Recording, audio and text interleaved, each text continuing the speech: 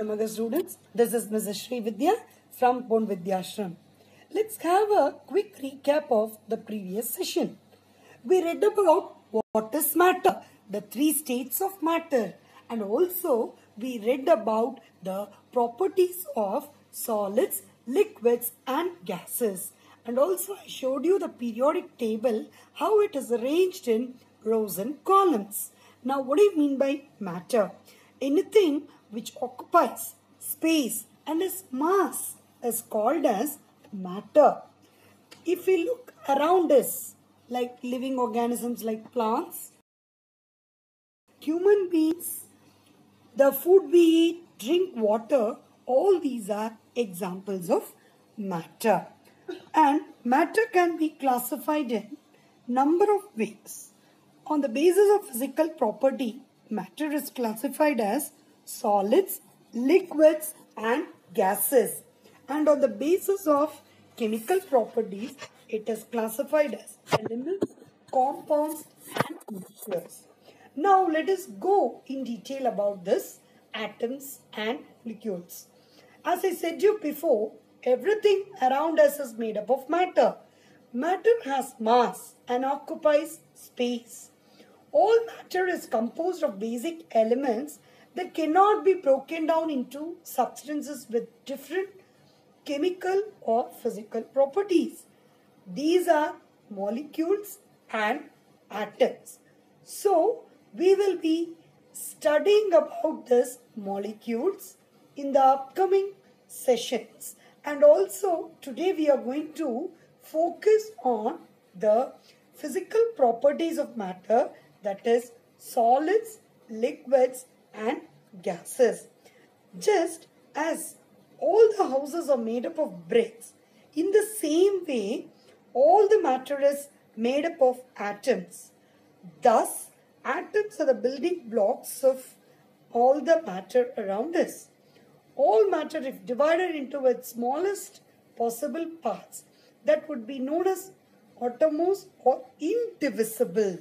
So here the Democritus has given about the atom that atoms are indivisible. You can see in this picture the test. An, an atom is the smallest particle of an element that can take part in a chemical reaction. Atoms of most of the elements are very reactive and atoms are very very small in size that we cannot see through our naked eye. Only we can view under the powerful microscope and the size of an atom is indicated by its radius which is called as atomic radius.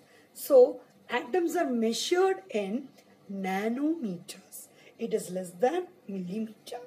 Now when we talk about atom, atom itself is very small. Inside the atom we have three subatomic particles namely protons, electrons and neutrons. Can you able to see the picture here? If, if you want to define an atom, the center of the atom is called as a nucleus. As we said in the structure of the cell, nucleus is the brain of the cell. Likewise, if you want to call an atom, it needs a nucleus. So, these three subatomic particles are charged particles. Protons are positively charged. Neutrons has no charge. Electrons possess negatively charged. So, now let us see the location of these subatomic particles inside the atom. Protons are present inside the nucleus. Electrons are present outside the nucleus and neutrons are present inside the nucleus. Protons and neutrons are present inside the nucleus. Now let us see the kinetic theory of matter. Matter consists of small particles called molecules. The molecules always move in random motion. The molecules attract one another with a force called as a cohesive force. Now, we use the word molecule what do you mean by a molecule? combination of one or more atom is called as a molecule. So let us discuss about this molecule in the upcoming sessions and also a simple molecule which everybody knows that's our universal solvent that's water. What is a symbol of water? H2O. It is made up of two atoms of hydrogen and one atom of oxygen. So that comprises a molecule of water. Now let us discuss about the state of matter. Matter is made up of a tiny particle called atoms and molecules. These particles are much too small that you cannot see through our naked eye. That's human eyes. The three states of matter are solid, liquid and gases. Ice, water and steam are three different states of matter of the same material. That is water. When it undergoes freezing, it becomes ice. And when we undergo evaporation, it becomes as a steam. That is a water vapor are released. And when it is cooled down, it is called as a condensation. Can you remember this slide here? The, in class 6, we discussed about the elements. That is numbering from the atomic number 1 to 20.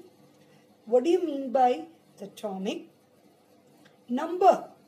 So, let, let us describe this atomic number in the upcoming sessions. Now let us see the symbols. Hydrogen, H. Helium, He. Lithium, Li. Beryllium, Be. Boron, B. Carbon, C. Nitrogen, N. Oxygen, O. Fluorine, F. Neon, Ne. Sodium, Na magnesium Mg. You can see the slide. You can see the first letter in the symbol always starts with a capital letter and the second letter will be in small letter. So next nitrogen N, oxygen O, fluorine F, neon Ne, sodium Na, magnesium Mg, aluminium Al, silicon Si, phosphorus P, sulfur S, chlorine Cl, argon Ar, potassium K, calcium Ca. These are the elements that is arranged from 1 to 20 which we had learnt in class 6. It is going to be like how you are reading tables in your mathematics you're supposed to read the symbols every day in this order. So how you're supposed to read is hydrogen, H, helium, He, lithium, Li, beryllium, Be, boron, B. Likewise, you're supposed to learn. Now, here you have a question which we had given in our classwork in the last year. Why is potassium denoted by the symbol K and sodium by the symbol Na? Why not potassium P and sodium S? It is because the potassium K, it comes from the Latin word kalium and Na, sodium Na comes from the Latin word natrium. Atoms, once again, let us recap these atoms. Atoms are the basic building blocks of matter that make up everyday object. It is the smallest component of an element having the chemical properties of the element. There are over two different types of atoms around us. So, which we are told in the last slides, atoms are so small that they are not visible by naked eye. Fire, air, water and earth and also have their individual atoms which are connected with each other. And also human beings, plants, animals, food, pen, pencil, the things which is surrounding us, table, chair, everything are the examples of matter. because it occupies space and volume. After atoms, a term for slightly bigger entities was coined that is termed as molecule. We are going to study this atoms and molecules for the next two sessions. So, all the atoms exist in two forms. One it is the form of ions, another one in the form of a molecule. Now let us see about elements. What do you mean by an element? A pure substance that consists of only one kind of atom is called as an element. The smallest unit of an element is atom.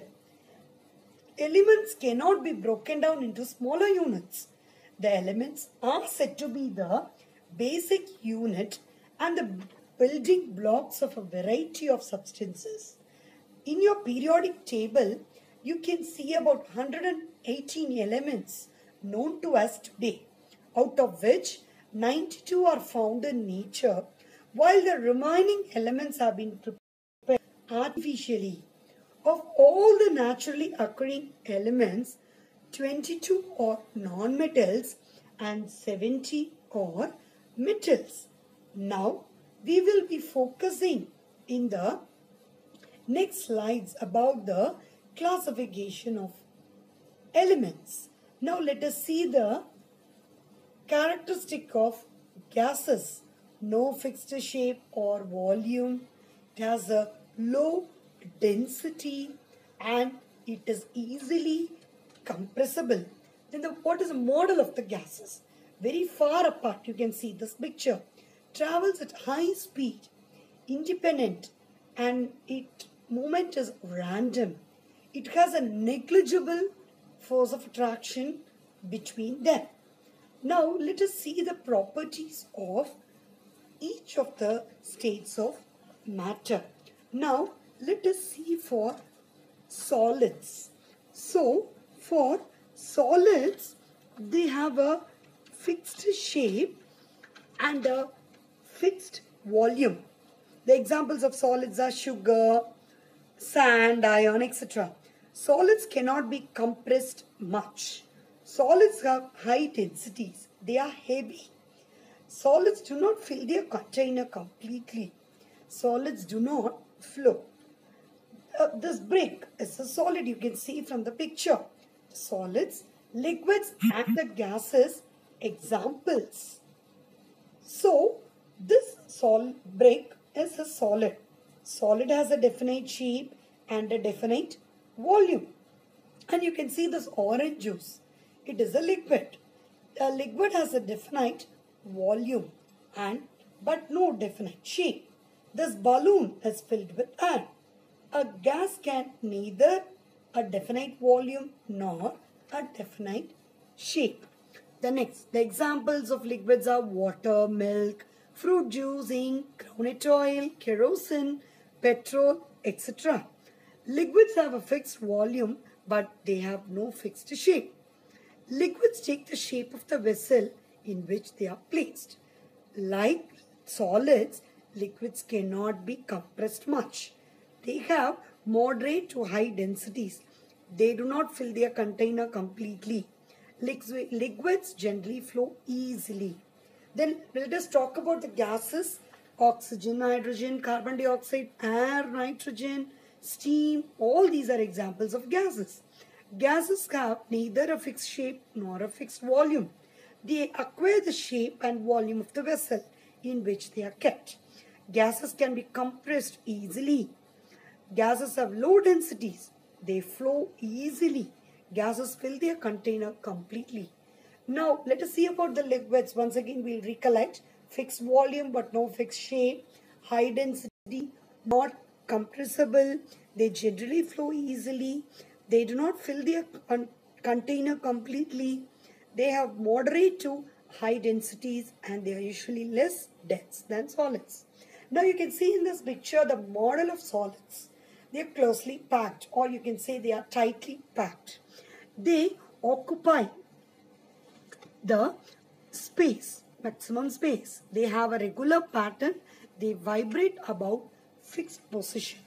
They are not free to move and they have a fixed shape and fixed volume, normally hard and rigid. Large force need to change shape, high density, incompressible.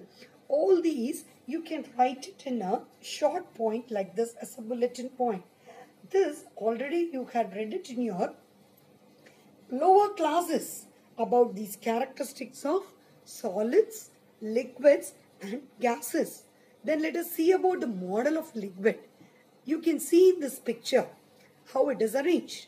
It arranged in clusters with molecules slightly further apart as compared to solids. They are free to move about within confined vessel. They take the shape of the vessel and they have a fixed volume but they have no fixed shape. As we discussed about the elements, now let us now describe the classification of elements. In the previous session, I explained to you Lavoisier classified the elements into three types metals, non-metals and metalloids. Metals, the elements which are hard, lustrous, that is shiny, malleable, they have been beaten into sheets. Ductile means they can be beaten into wires. Sono sonorous, which can able to make sound. And good conductors of heat and electricity are called metals. Examples of metals, iron, copper, gold, silver, aluminium, etc. Non-metals, the elements which are brittle, they'll be easily you can break. Non-lustrous, non-malleable, opposite of metals only you have the characteristics of non-metals and metalloids. Metalloids are those which possess the characteristics of both metals and non-metals. Example, germanium. So, hope you would have understood this session. I need all the students to view session 1 and session 2 once again and note down the points. Thank you children.